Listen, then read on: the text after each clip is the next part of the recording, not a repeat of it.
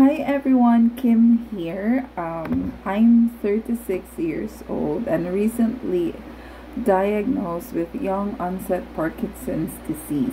Prior to that, um, 2019, I have experienced some series of symptoms that is unexplainable. So my story was I found uh, I seek help when September 2019 I was swimming and I realized that my left leg did not kick or is not as strong as the right leg. From that time on, I went to the GP asking for explanation about it. They sent me for an x-ray which suggested nothing is wrong with my leg.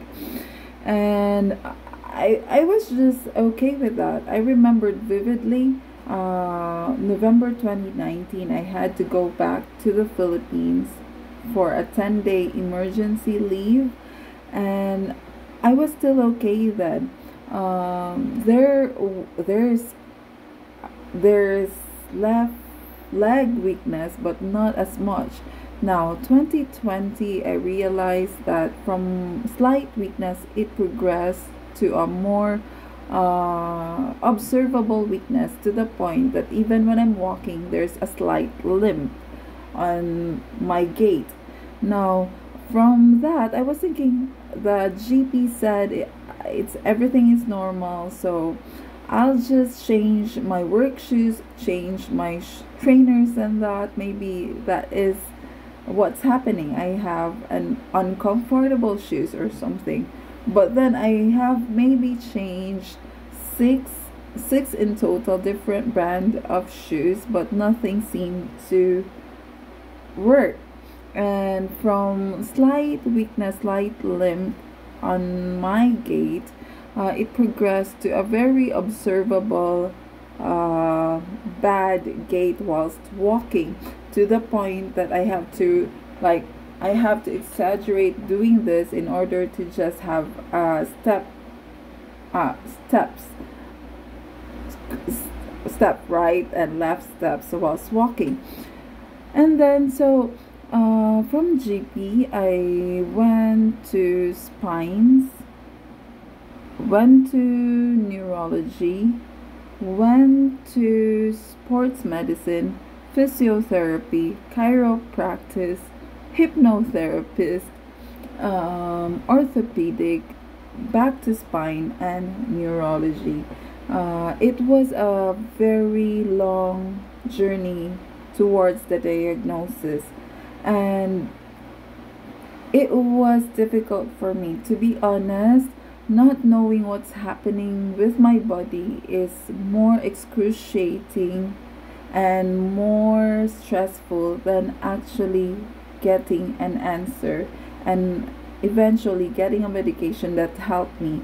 So pass, fa- pass, fast forward 2023, early months of 2023, I have been seen by a neurologist consultant, which sent who sent me for a DAT scan. The DAT scan was really helpful. Uh, prior to DAT scans, I have I had um, nerve conduction study, I had MRI, but nothing suggested and explained the symptoms that I was experiencing. And with the DAT scan, maybe a week or no, not even two weeks, maybe less than a week, I was called by my consultant neurologist telling me about the result and she suggested to have a levodopa trial. With the levodopa trial, three days after taking it, I am taking Madopar 187.5 milligrams nowadays 7 12 and 5 p.m but before that it was 62.5 milligrams so a uh, lesser dose of tablet so 62.5 milligrams dose, if I'm not mistaken, also for three days. And after the third day of taking the Madopar, which is levodopa plus benserazide, a combination of two, um, which the Madopar itself is consists of levodopa plus benserazide. Um, I I I noticed that because it really went bad, especially the early months of 2023 to the point that it takes me a long time from sitting position to standing position. It takes me a long time to do that. And from standing position to sitting position which i now know that is brady, bradykinesia or dyskinesia or akinesia which means to say slowness of movement or difficulty of movement. Then um, so th- three days of taking 62.5 milligrams three times a day of of Madopar, which was a levodopa trial for me, I have uh, my husband noticed that my from sitting to standing, standing to sitting, it was not as difficult as before, and my my swinging of arms uh, came back on the third day. So that was the levodopa trial, and then uh, why am I, I why am I telling you my story or my journey?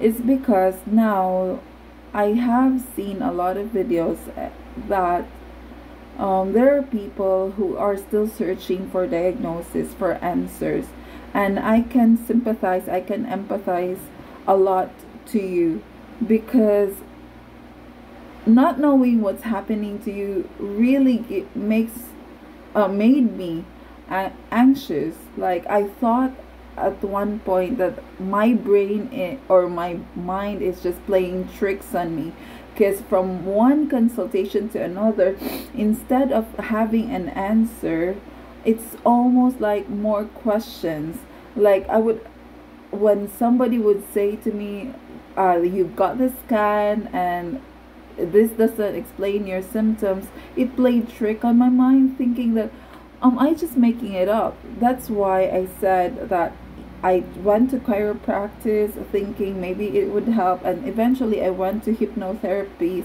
hypnotherapist because i was thinking maybe i'm just making this up in my brain. But don't lose hope. If you are in the same situation as i was before don't lose hope.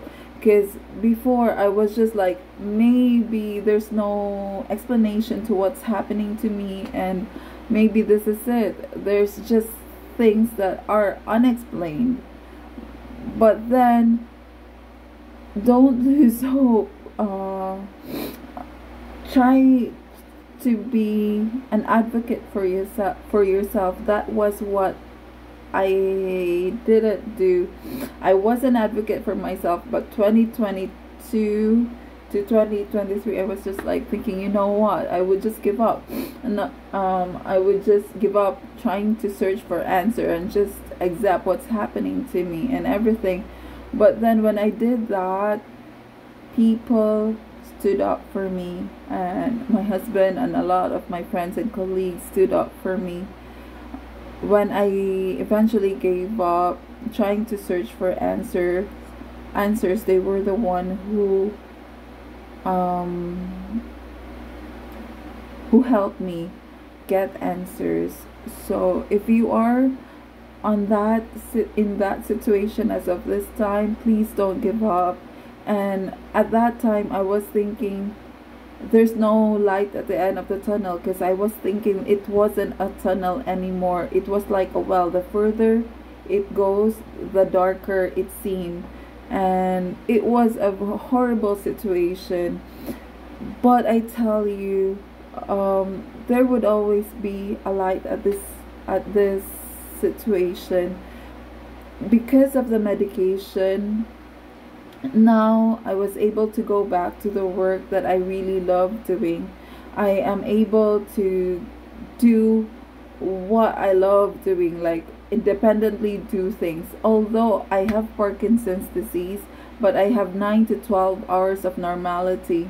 Though I still have tremors, rigidity, akinesia, postural imbalance, and even difficulty of re regulating my body temperature when there's extreme heat and extreme cold um, I can still say that I am living my life as much as I can. It this wasn't possible before the diagnosis and before the medication. But just hold on tight, and I hope you'll get answers soon.